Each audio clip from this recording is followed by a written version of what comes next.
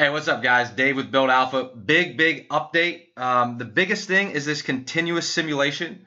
Uh, so it will build strategies forever. So you can leave it on overnight and check it in the morning. Uh, while it's actually building the strategies, you can analyze and view the tests for the ones it's already built. And of course, you can pause it, restart it, and stop it whenever you want. Uh, the biggest difference is the original strategy engine uh, returns results once it reaches a point where it feels it has searched the search space effectively and can no longer create strategies without significantly overfitting. The continuous simulation does the same, but once it reaches that point, it starts over, um, adjusting a few things on the back end and just keeps going. So the strategy engine is slightly different, uh, but I think that's besides the point. I've also expanded the exit signals. So now there are about over 5,000 entry signals and 5,000 exit signals to play with.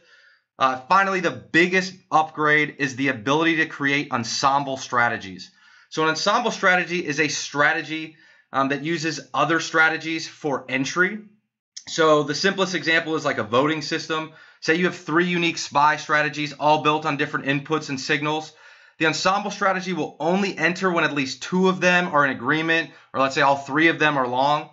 Um, so that I will do a more detailed blog post uh, on ensemble strategies, but these are a great way to improve uh, strategy stability and reduce the variance in chances of overfitting, which is obviously the big thing we're after as system traders. Uh, this feature actually also allows us to create hedging strategies. So this means I can select a strategy and build another strategy that takes an opposite position when, let's say, a few price action signals are true and the existing strategy has a position.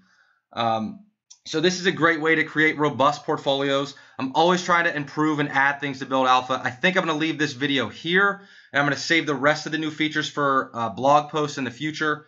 Um, as always, guys, thanks for watching. Take care.